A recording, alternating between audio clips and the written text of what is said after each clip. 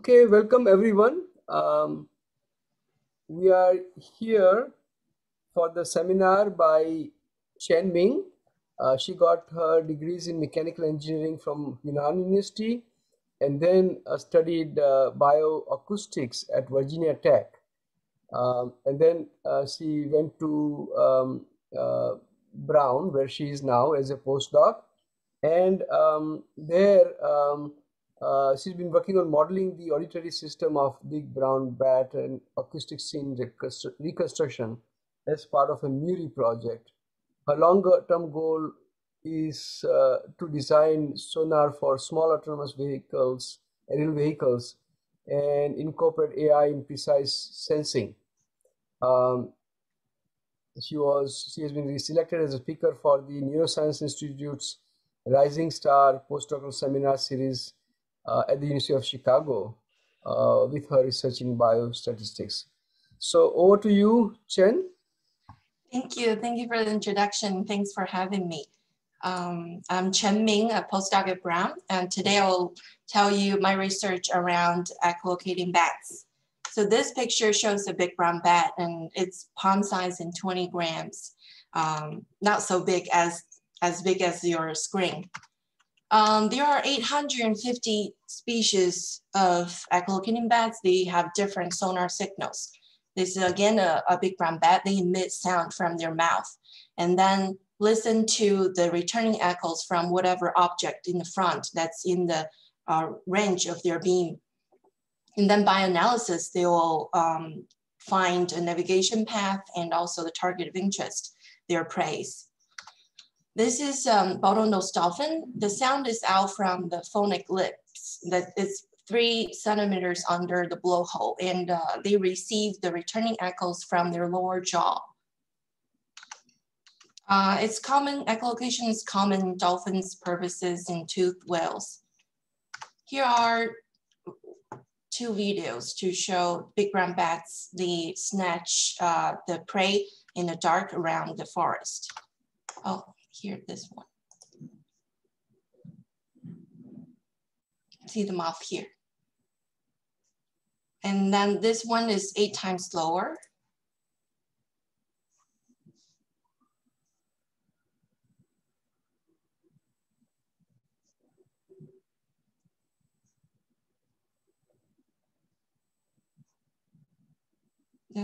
this is the mouth.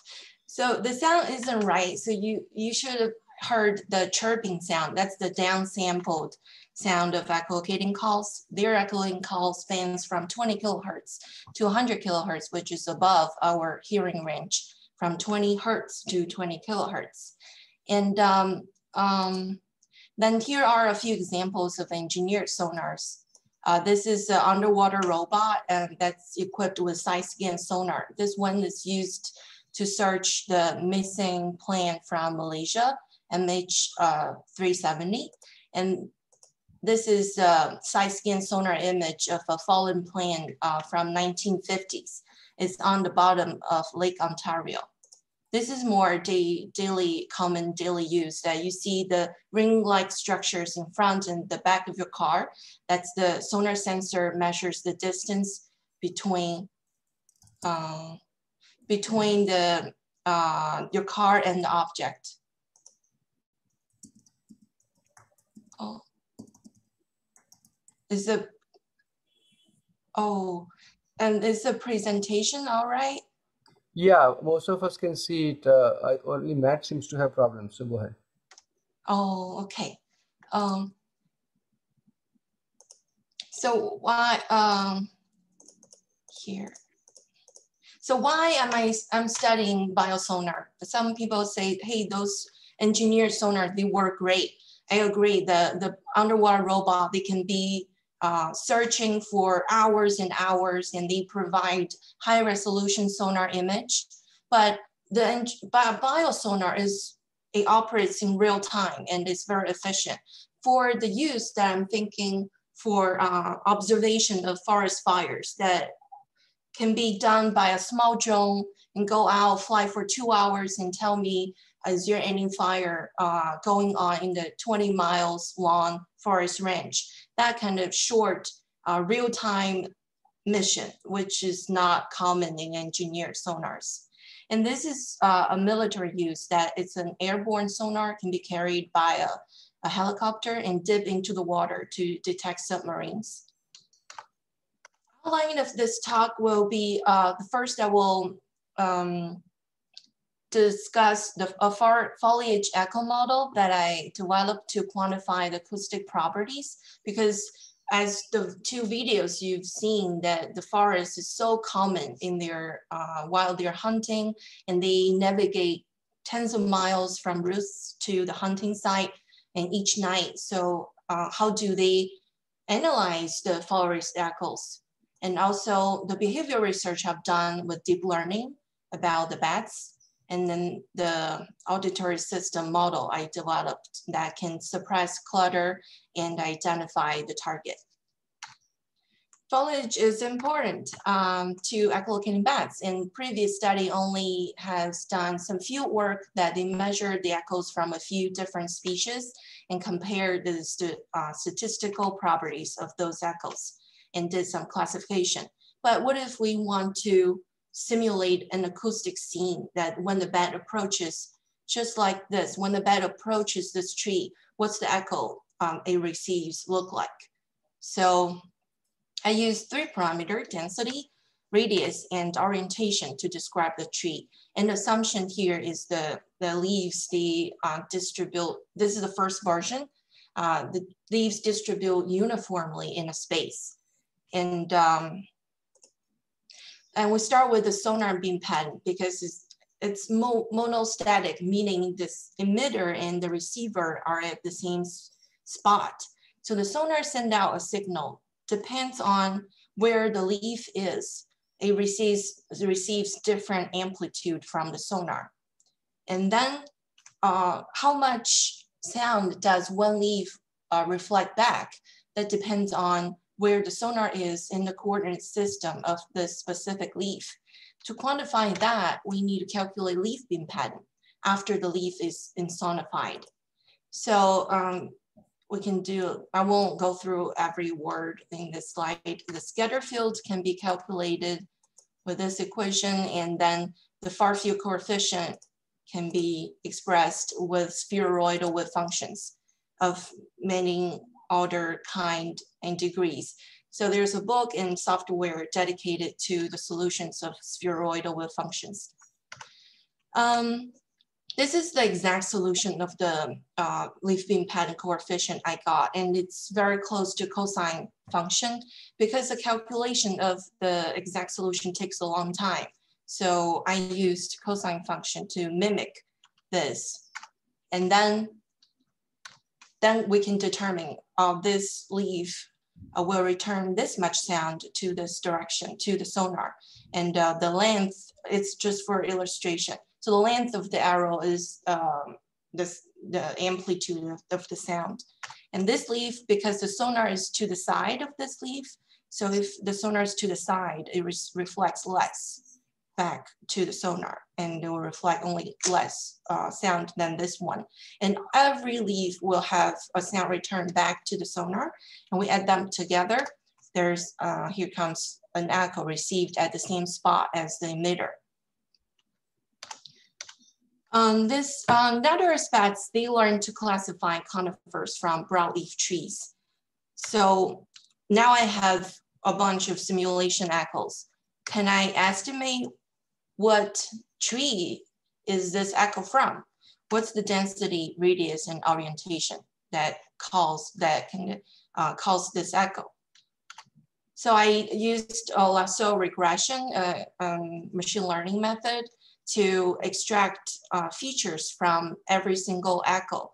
Uh, this case, this is the amplitude feature. I divide them into 10 parts and uh, used a histogram and quantiles. And then this is a time-wise uh, feature.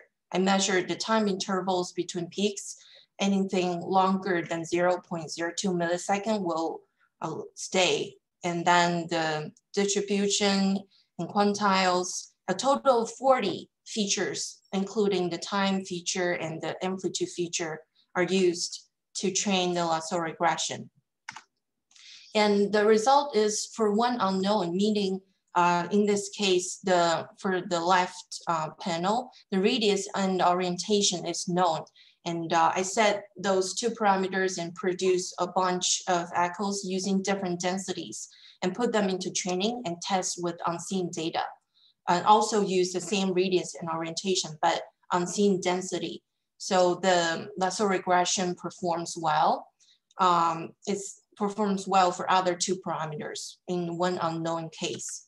But if we have two unknowns that um, for the left top figure, I, I set the radius, mean radius to be 15 millimeter and um, uh, varies the density and uh, orientation to produce many echoes and put them to training. And then I get some echoes that has different density and orientation, but the same radius, the model performs, the, the trained lasso regression perform okay. Um, there, my colleagues worked on this and published another paper using other method to estimate the parameters. The bats, they use um, foliage echoes as landmarks. So we think, can we estimate the, the parameters as well? That's the purpose of this study. Um, but that, that was assuming the leaves are distributed uniformly in the space, but trees, they grow uh, uh, along the branches, there are clusters. So I used a Lindenmayer system uh, and picked two examples, pine and ginkgo as an example of conifer and broadleaf trees and built the branching patterns using Lindenmayer system. I used two sets of uh, branches, but one set is not dense enough. So I lift the original set, the original one is brown, and I lift it and rotate 90 degrees and attach to the original set of branches. So that's dense enough to mimic the real trees on campus. And then I add leaves according to um, pine and ginkgo's leaf structure. And now I'm ready to um, create acoustic scene, how that evolves. So this is the beam and this is the bat as it evolves, uh, goes near the tree. This is a echo. And this one is for pine. You see, because the branching patterns are different, the leaves engage in the beam. There are stripes in for the pine, but uh, big patches for the um, ginkgo. And I also created uh, different scenarios, but not included in this presentation. Then I'll introduce the behavioral uh, research I've done using deep learning uh, since I joined Brown University. So can we track the flight, flight path of bats without using markers? This is an experiment to test the question is, will the bats be startled by sudden noise from random combination of speakers? There are three speakers, one, two, and three. Um, at any time when is, the bats is released from X point, and while it's in flight in the chain corridor, the chains are hanging from ceiling all the way to the floor. At some time when it's in the corridor, um, sound will be triggered from any combination of the three loudspeakers. And will the bed suddenly change its flight path, which we call startled? So, so I used uh, Deep Lab Cut, a, a newly, at that time, 2018, newly developed uh, software using ResNet um, to label those um, the head, wing, and uh, your elbow without making markers. Excuse me. Before we tried using markers, it's very difficult for the experimenter to paint a marker on the bed and you have to remove it after each experiment. Also, uh, or you can use stickers, which is even trickier. And then you have used ton of lights. We want to conduct the experiment in the dark using infrared light because we want to exclude the possibility that bats use light. Um, but it's very tricky and it's never ideal. So then this deep learning tool came out that no markers needed, needed. And even this video quality is enough.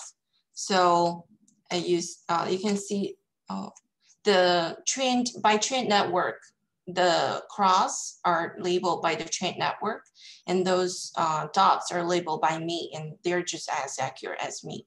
And their study showing that the accuracy of the labels by trained network is as accurate as humans. And I use two cameras and each of them, um, those are the results from Deep Lab Cut. And when the LED lights, five of them are lit, that's when the sound is triggered.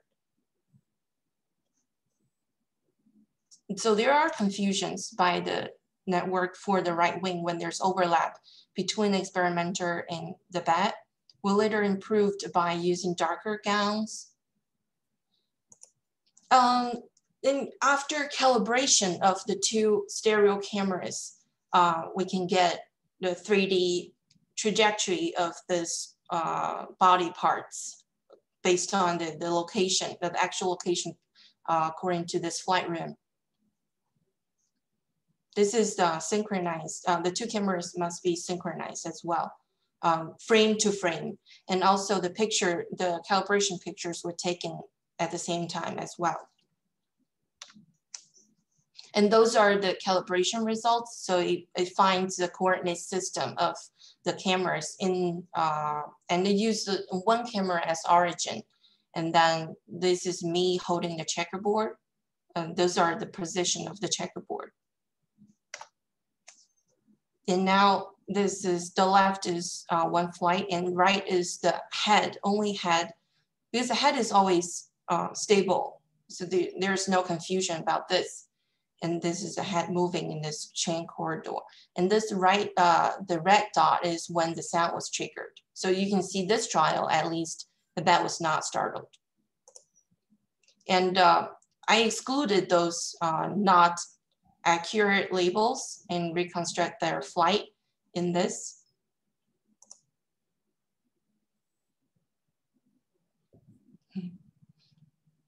So in each label by the neural network, there will be a likelihood number. Usually when, when it's accurate, the likelihood number is very high. When it's not, it's so it's very low. You can set a threshold and exclude those unwanted labels.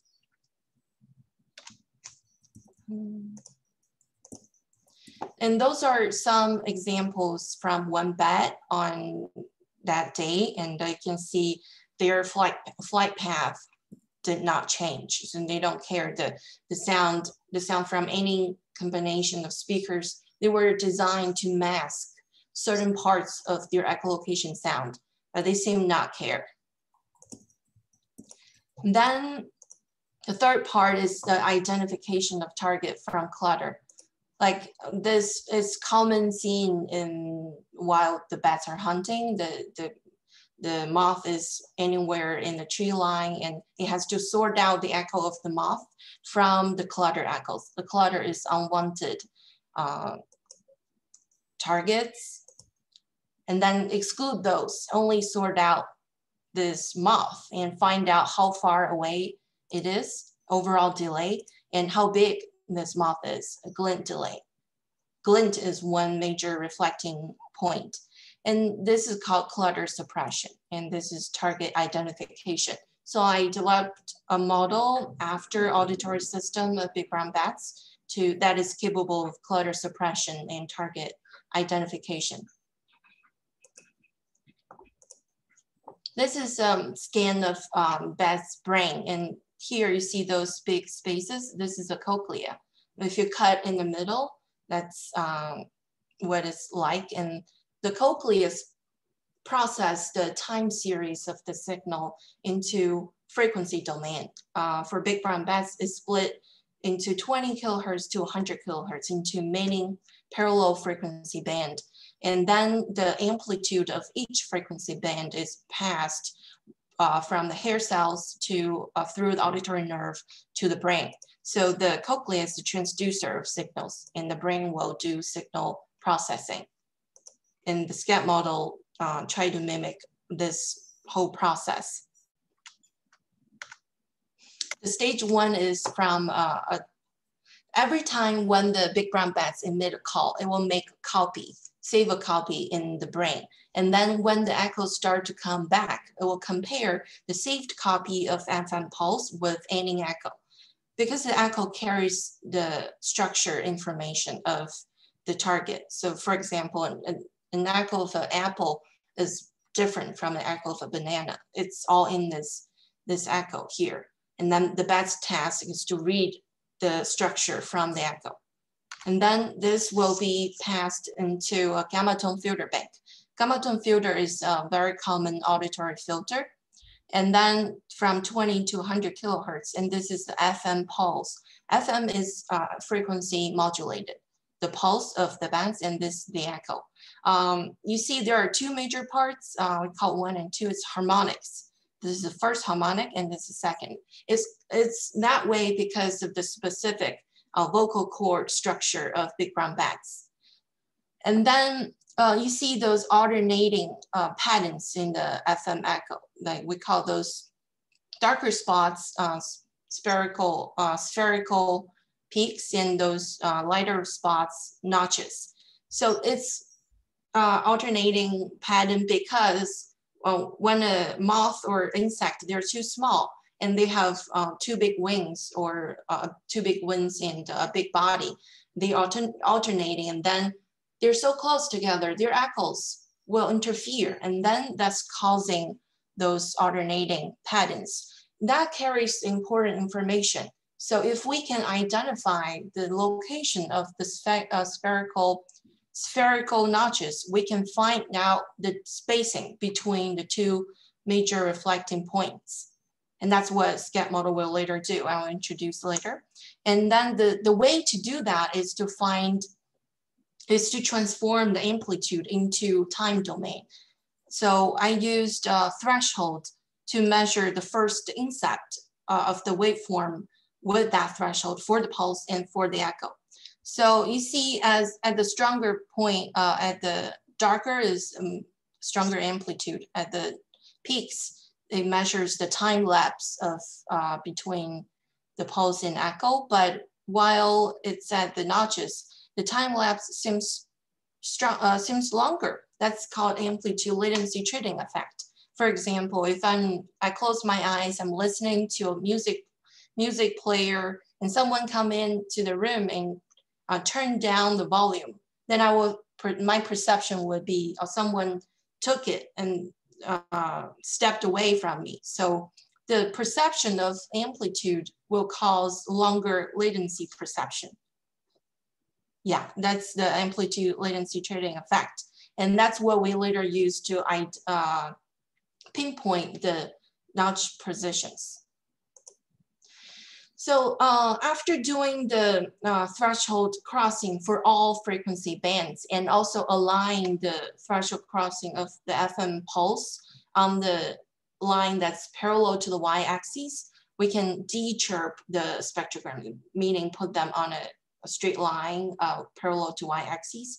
And you see those uh, amplitude latency trading effect is the strongest at the notch point because the notch is not just one frequency band that's uh, very weak than others. It's a swath uh, of frequency bands, and one for uh, the center frequency band is the weakest. So it, all the if you add all, I use ten thresholds. If you put them together, it was you see those scallop-like structures. That's where I, I identify the notch position and map them onto the delay, um, the triangular network that has the delay neurons to uh, mimic the auditory cortex processing. So those amplitude latency caused the significant delay of those notches.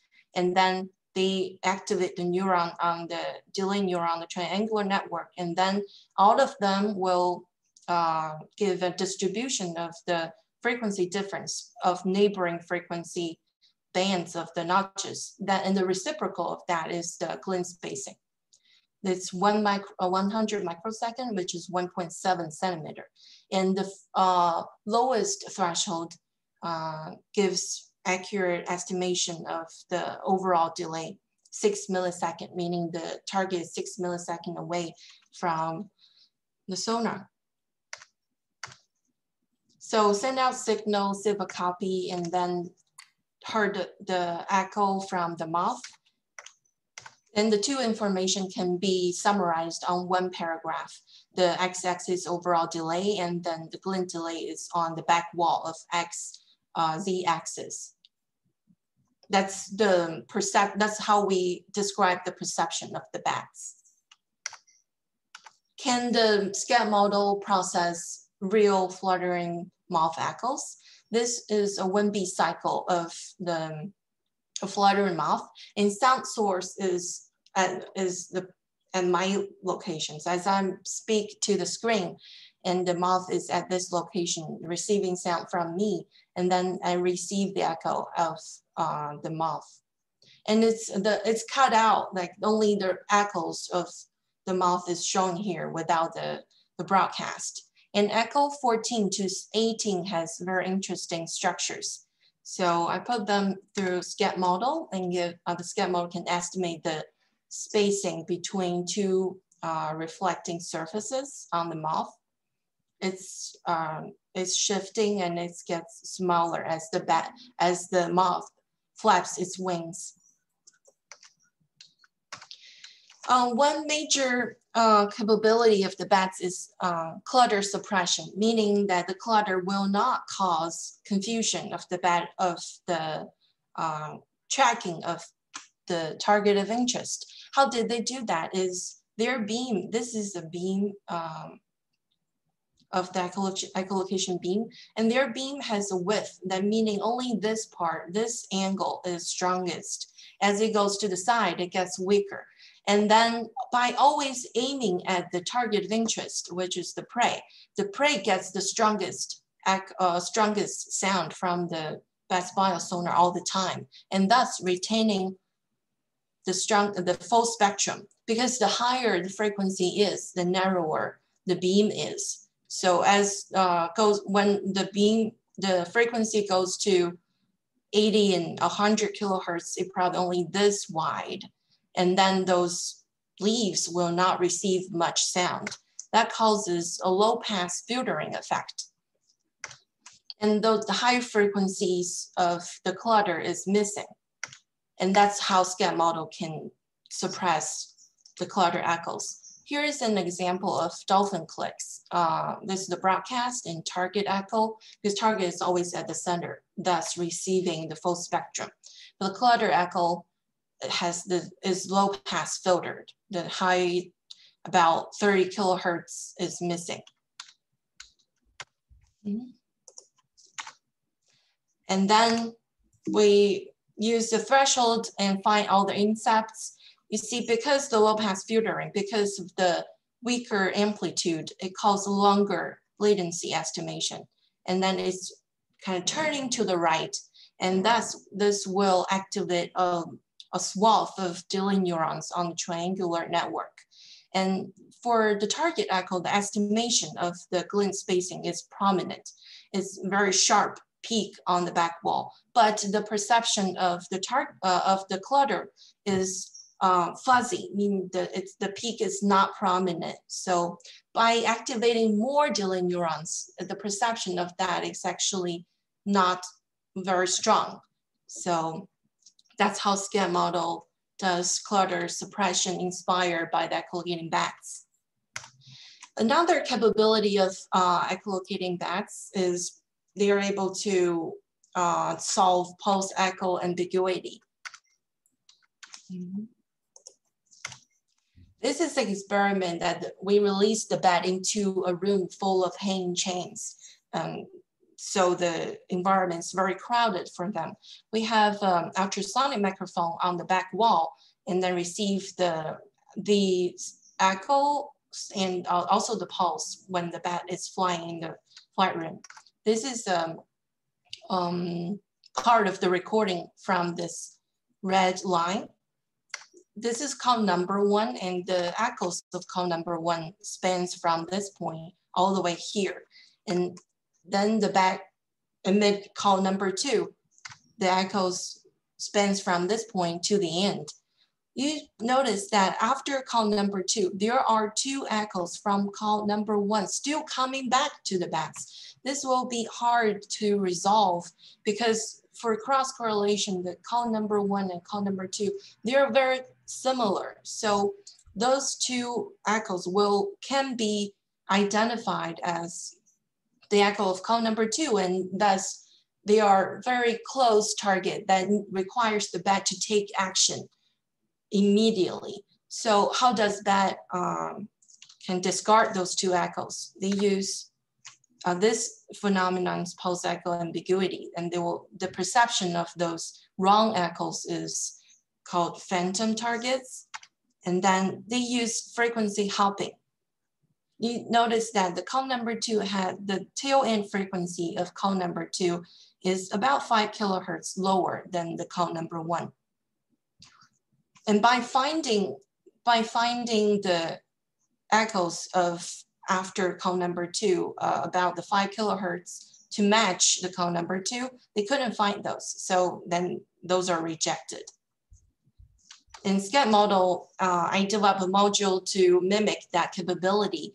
Uh, this is pulse number two, and by actively looking for the tail end frequency to match the pulse, if the echo of pulse uh, one does not have the lowest five-ish kilohertz frequency, then it will be rejected by the SCAT model.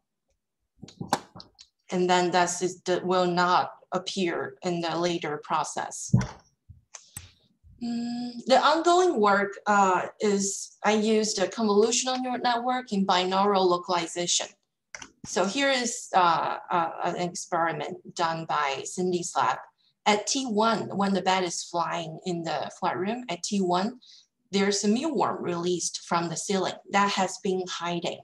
And then at T2, the bat found the mealworm. And since that, since that moment, they starts to fly toward the mealworm and then send out the pulses, the each the black short line is a pulse aiming at the mealworm.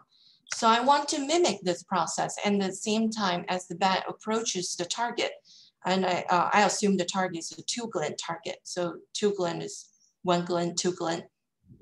And the perception of the location of the two glint will change as well. So can, what, how can I uh, localize the two glints that only five centimeters apart and the, the bed is about a meter away and approaches the target. So I use uh, a convolutional neural network.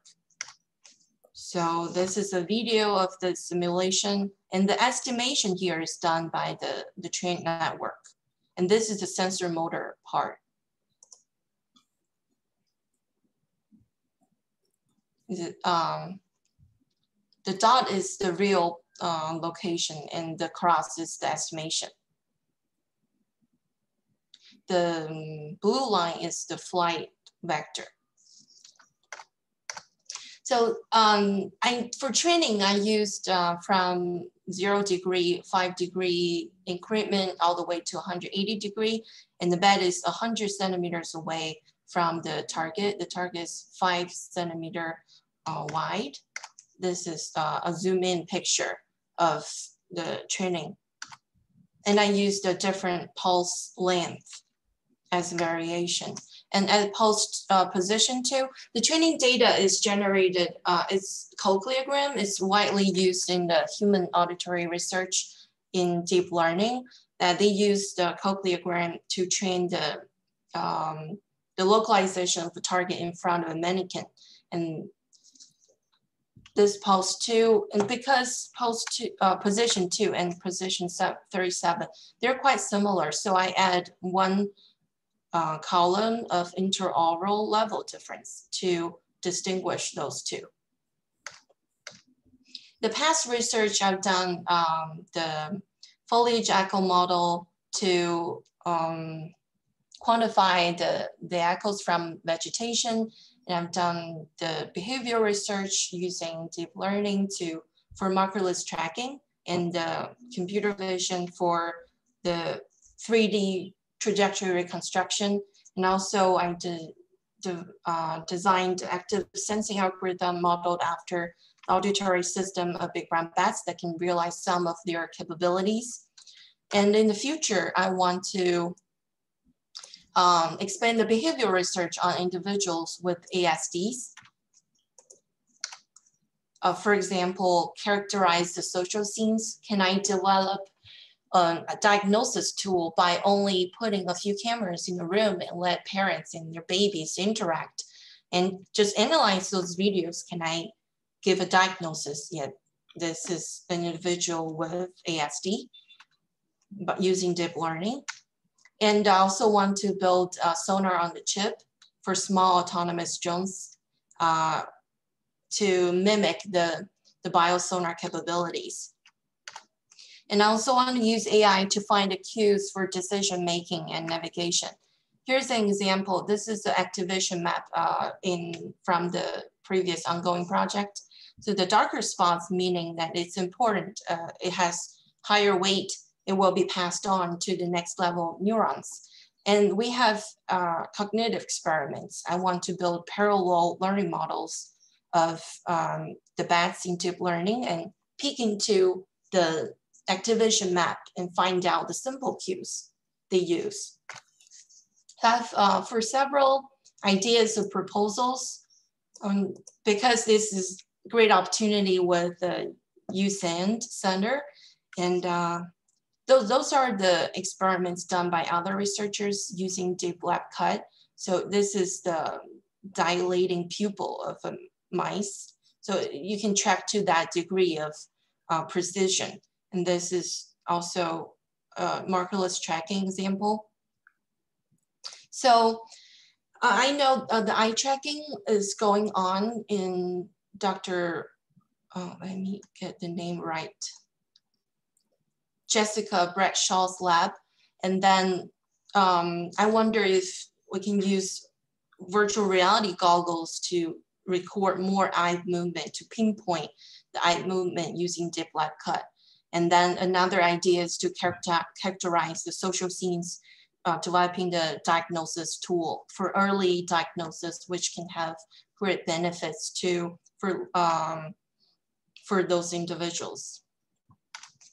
And this is the learning models, the big brown bats. Um, um, it's called two alternative force choice that's going on uh, in our lab. And also there's parallel experiments of this for bottlenose dolphins. It's a cycle physical experiment used to measure the specific perception experience or uh, of the echolocating bats. So they are trained to identify one target over another. And then in the data collection stage, uh, the, the, experimenters manipulate one of those uh, choice, the, the, the choice they are trained to choose, and then see when they fail. So I want to, because all the pulses and uh, uh, return echoes are recorded, I want to use them to develop the learning models using deep learning and then peek into the activation map and see if that can inspire um, the design of efficient, and accurate sonar algorithm. The current uh, MURI program, program I'm in is the program officer is always asking the question, can we find some simple cues, a simple algorithm to improve the design of Navy sonar? So that's, I think this project will suit that um, requirement. And um, this is the acoustic scene we've seen before. That, and also this is the sonar head I built in PhD studies. So I was four or five years ago and technology has developed so much during the five years. And I want to build a sonar on a chip. And for the forest fire observation, it may not be that hard because as the um, objects or the obstacles, they are simple. So just the idea is to make the drone fly along the canopy of the forest and equip them with thermal cameras and smoke detectors. And when, if there are some trees that does, uh, it's taller than the, the average canopy, then it has to avoid that obstacle. And other than that, it's pretty simple. From position A to B while maintaining certain distance. That's uh, later on, I want to expand one drone into a swarm of drones so we can cover large ground. And the, for the bigger um, project for the Career Award, I want to devise uh, sonar on the chip and uh, corresponding softwares, algorithms to make it um, of capable to fly in a complicated environment. For example, the city that has utility poles, buildings, and trees, and everything. And um, I also want to build a counterpart underwater because sonar sensing is classic perception ways in uh, underwater environment. This is some um, um, pulse density modulation microphone. It has less components and smaller size that can be part of the, the sonar on a chip project. Um, this opportunity is exciting because uh, University of South Carolina has so many great collab potential collaborators for behavior research on uh, autistic individuals for decision-making models in deep learning and for autonomous, excuse me, for autonomous learning and for the Jones swarm. And I will talk to some uh, people I listed here. I'm very excited. Um, acknowledgement is my lab at Brown University, my PIs and uh, friends here, and also, uh, also, the collaborators from the MURI program. It's their support uh, and that has raised me up here. And the funding resource from ONR and NSF for my postdoc and uh, PhD studies. And any questions?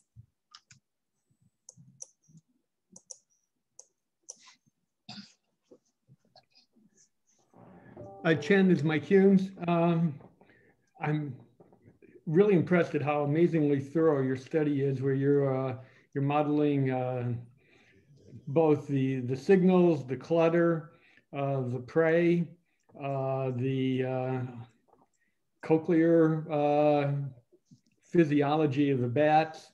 that's all great. as far as the prey. Um, do you model anything about the trajectory of the moths? So for example, I've heard that uh, to evade bats, um, moths can't fly very fast.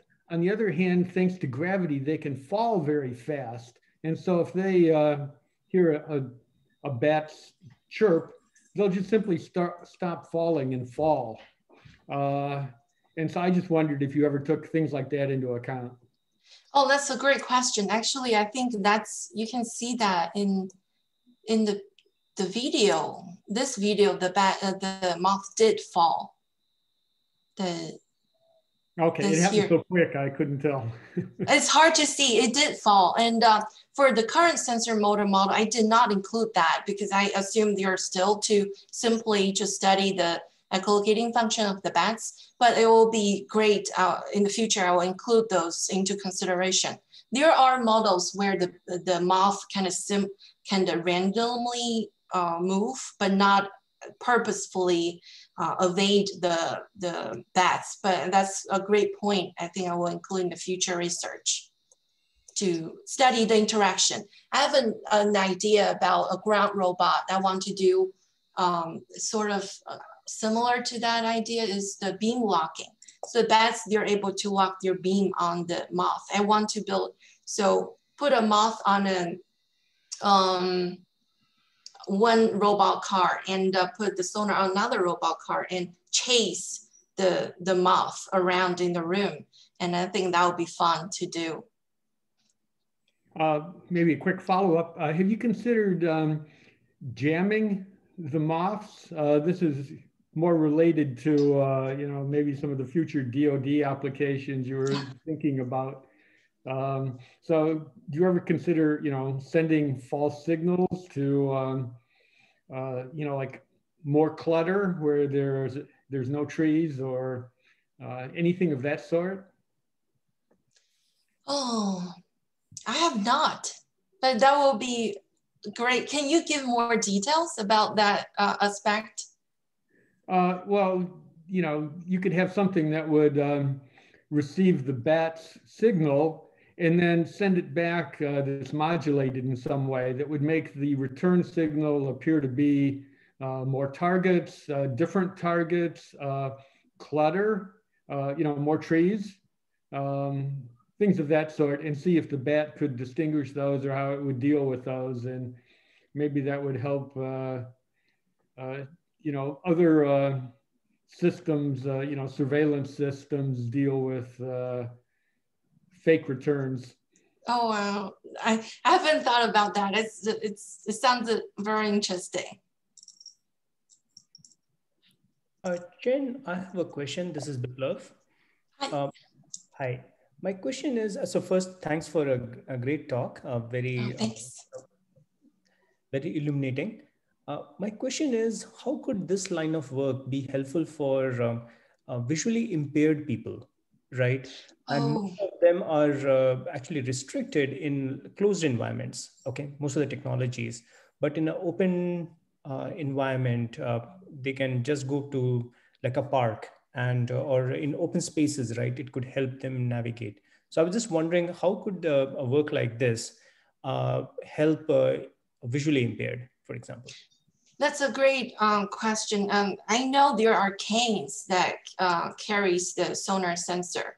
And I also have my person uh, personally have an idea that I'm terrified of uh, going across the streets. I want some drone just fly above me as a guardian and then just alert me if there are cars coming and or some big thing I need to um, pay attention to.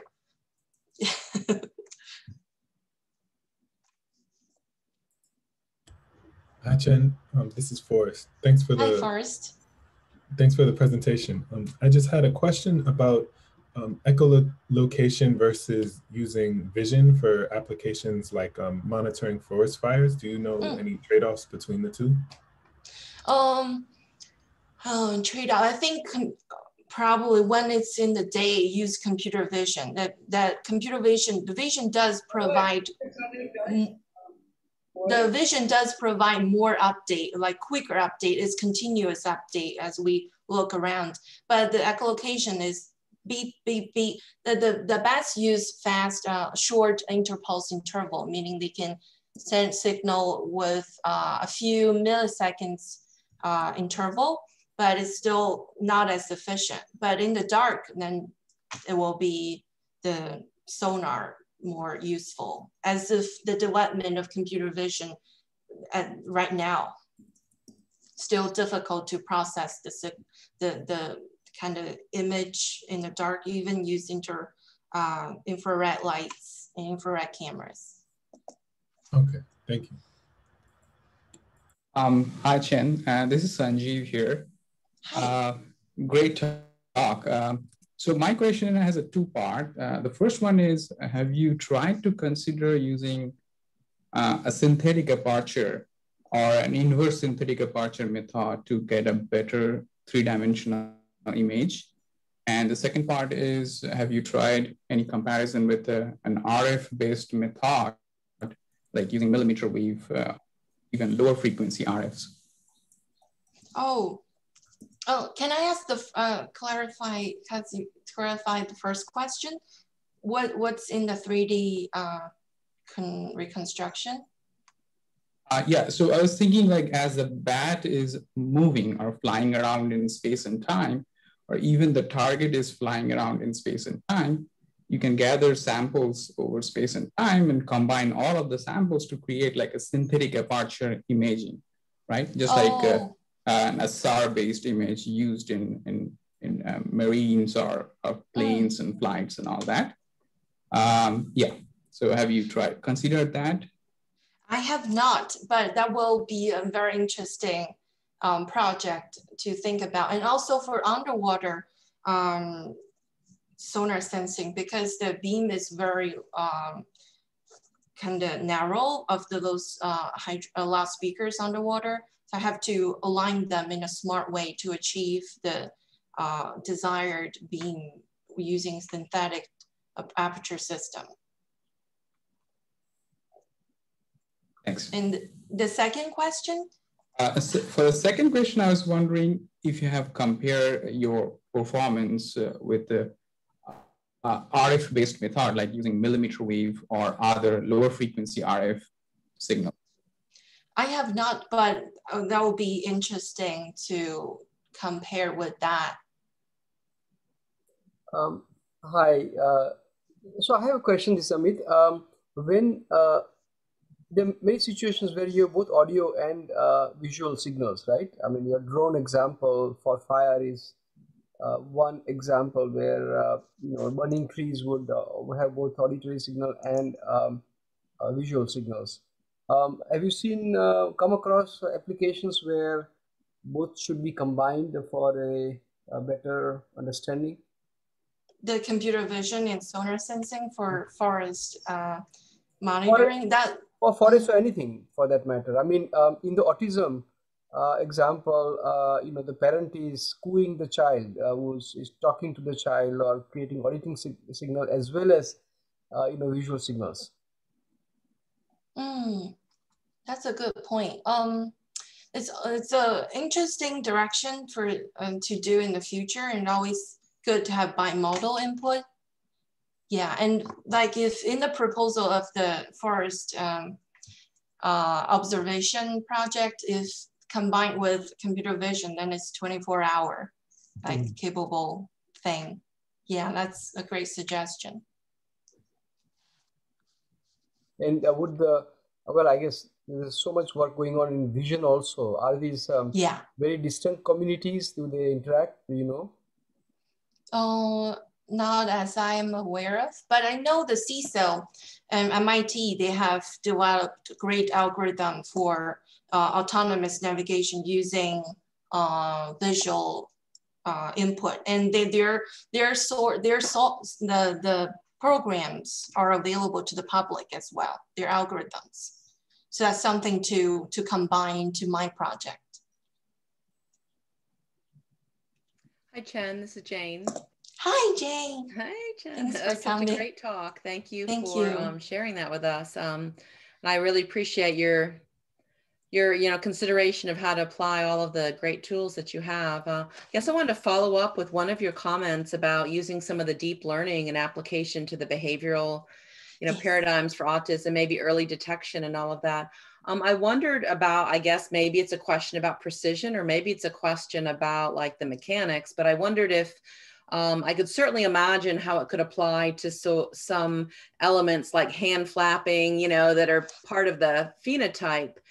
Uh, but I wonder if it would be sufficiently precise to pick up even um, facial uh, affect or sort of like, you know, um, eyebrows raised or, you know, frowns or sort of the way um, individuals might respond just from um, facial facial cues. Mm, yeah, that's a great question. I think that's also depending on how the cameras are set up to capture their facial movement. Maybe um, we can ask the parents to wear a camera on their head, uh, on their head and use that to capture their child's facial movement. And, and also set up a few, the cameras does not have to be on the ceiling, but instead uh, having them hide it uh, like in the coffee cup, like those, like just around that interaction scene, will that be better to capture? Yeah, it's definitely a lot of experiments to try and find the best ways. Yeah. That's a great question. Well, those are good ideas. And I know that um, I use eye tracking as well as Jesse.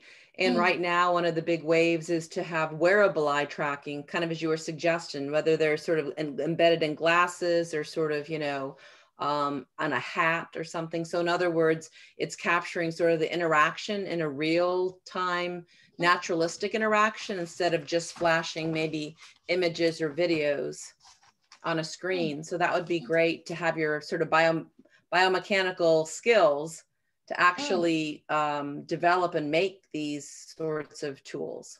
Mm. Am I yeah. misattributing your skill set? Is that something that's no, reasonable no, no. to think about um, crafting yeah.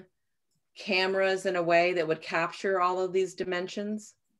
Yeah, um, I think it's possible, and there are very small cameras already, like uh, that can be used uh, with a small microprocessor called uh, Raspberry Pi or Arduino board. They're so small, like uh, this big. So there are many ways like we can try. Even the parents' clothing can have some cameras. yeah, so it's it's it will be interesting and I think it's solvable. Great. With my skill set, hopefully. Exciting. Sorry, one more question. I again I follow up a little bit on the thermal aspects of your work. Is it possible to apply those to be able to detect um, either sweat, sweating, or heart rate as sort of an indicator of like autonomic function to integrate both physiological function with behavioral function? Oh, that's a great point. I think it's possible. So for the sweat is, can we use thermal cameras? And those, these are image processing as well. And the thermal cameras can be synchronized with the, the cameras. And then at the, then we have two dimensional information. Yeah, and that would be helpful. I think it's doable. Great, thank you. This is Tarmo Koppel. Hello, Chen. Very nice, very nice presentation, and I'm, I was very um, uh, astounded on the thoroughness of your work. So I, I have I have the follow-up question regarding biological measurements. So so would you think that uh, the ultrasound could uh, penetrate the clothes? So so one could have a device that measures, let's say, respiration, heartbeat, and and other other biological parameters for health purposes.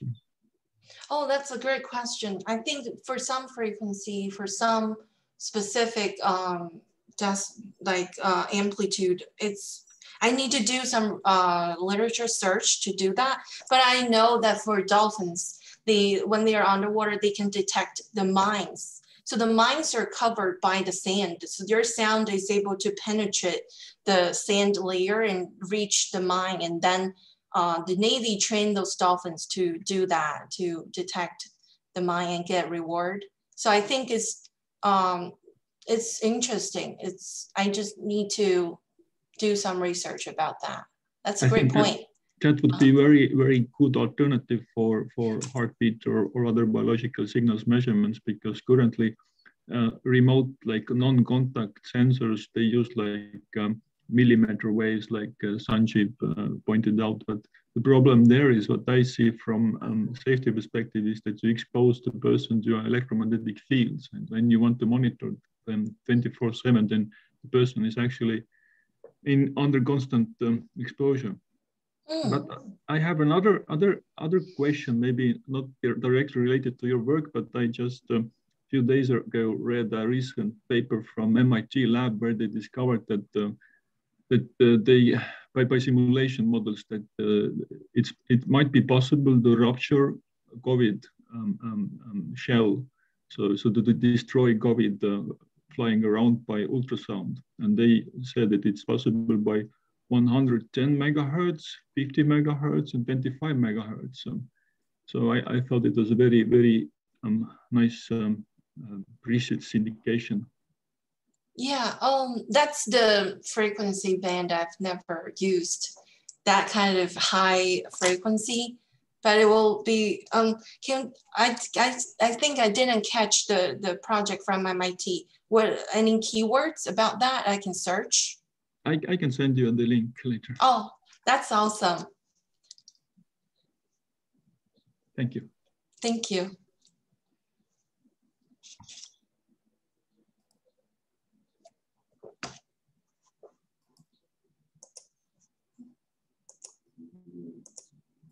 Questions oh, anymore? Um, there seems a question in the in the chat box. Uh, okay, does does Raspberry Pi have a strength of hardware required? Uh, have the strength of hardware required. um, Raspberry Pi because it's a cheap and easily available. Uh, does it, um, you know, is it something oh. that is uh, powerful enough for some things you could do? In that case, it's uh, a very cheap vehicle to uh, do what you want. Mm, uh, the, the, the, if I share the screen again, the, just a sec.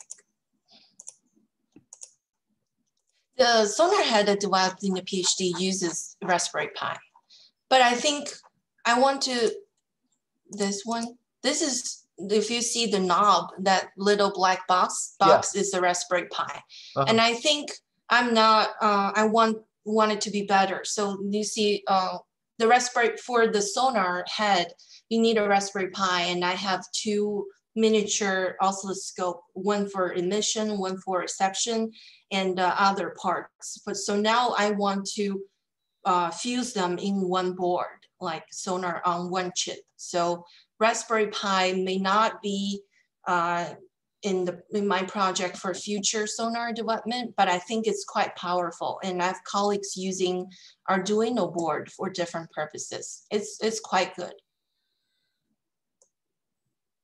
Okay, thanks. Uh, Chen, just to adding this in, Chen, this is Pankesh.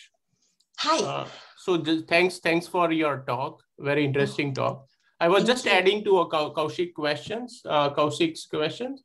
So Raspberry Pi is Raspberry Pi could have now the new versions are available, which is a little bit more powerful. So that would be a, one options. And then there are some devices like from NVIDIA, like oh, Jetson oh, yes. Nano, which can run and which can fuse uh, different data streams together. Mm. Running computer visions algorithms on a very powerful and very efficient way. Mm.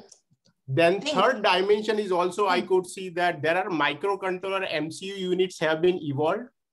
And on the other side, from AI side also, uh, now TinyML community has evolved, which the main objective of those tiny ML community to run uh, computer visions algorithms on resource consent devices, which cost around like $10, $15.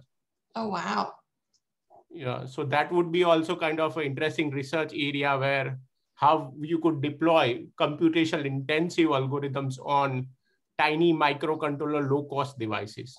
Oh, thank you. How have you heard Jetson board? That's something like can conduct um, deep learning on a small chip. You mean uh, NVIDIA Jetson Nano? I didn't I think, get you. I don't. I don't know if it's NVIDIA or some other brand. It's called Jetson board. Jet yeah, Jetson. Jetson are there, and then there are some accelerators also, USB accelerator. So for hmm. instance, mm. somebody can plug your, somebody can, let's say some want to increase the uh, computations. Suppose somebody wants to increase the computational power of Raspberry Pi. Then mm. there are accelerators like oh. Google Corals is there, then Intel, Intel mode Movidius are hmm. the devices which you just need to connect those things on a USB drive and you will have extra computational power. Oh, yeah. So for instance, you mm. don't need to even uh, need to buy a new devices. Let's say mm. if Raspberry Pi is not sufficient to, to mm. run your algorithm, you can add some new computational capability into existing hardware as well. Hmm. That's a great point. Thank you for the input. Thank you.